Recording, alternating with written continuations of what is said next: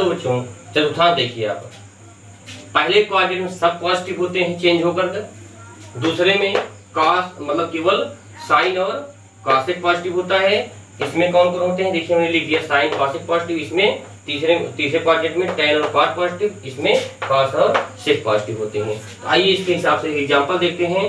Sign 150 इस बराबर क्या लिख सकते हैं? साइन 90 प्लस 60 लिखो, या फिर साइन 180 माइनस 30 लिखो। दोनों का मतलब 150 ही होगा। तो साइन 90 प्लस 60 क्या हो जाएगा यहाँ पर?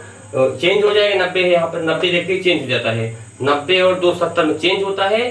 तीन सौ साठ और एक सौ अस्सी लिखने पर चेंज नहीं होता है। जो होगा क्वाड्रेंट वही हो जाएगा। इसका माने होता है दो, आगे देख लीजिए आप लोग यहाँ पर।